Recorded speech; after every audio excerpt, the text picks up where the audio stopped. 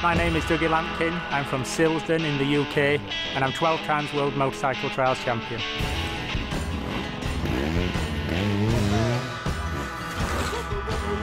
We were looking for a new location to make a video when I saw some photos from Red Bull Italy and we found this amazing place.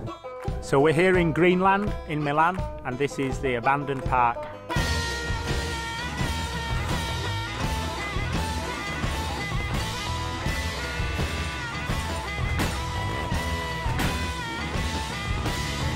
It's a great opportunity to ride over amazing obstacles.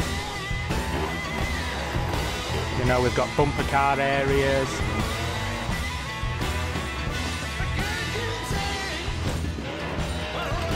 There's a train. We've been riding through the station.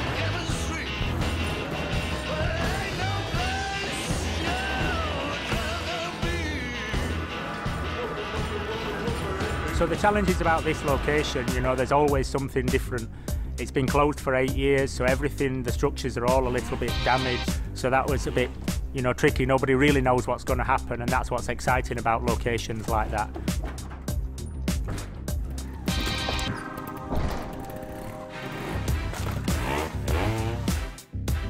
You know, the first time you ride something, there's a lot of uncertainty about what's going to happen, how slippery it will be, and this location provided that.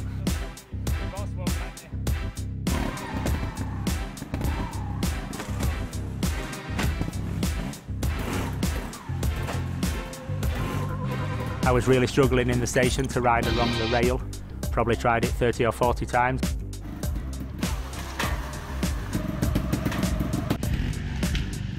And to be honest, we already had the shot, but I didn't have it for myself.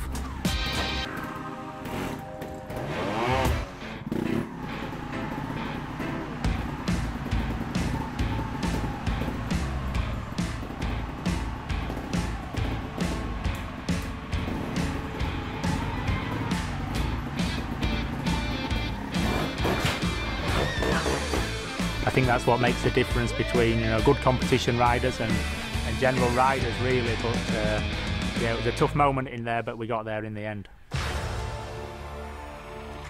Best part of it all was the opportunity to ride on an abandoned roller coaster.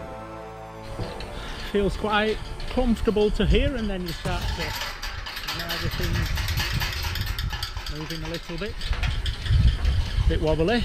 This is the point that does not leave my mind when we arrive here and the handrail starts to disappear as you can see and you start to look you can also look down there.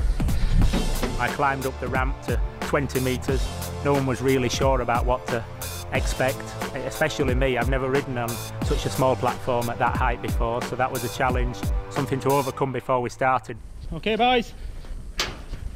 Let's do it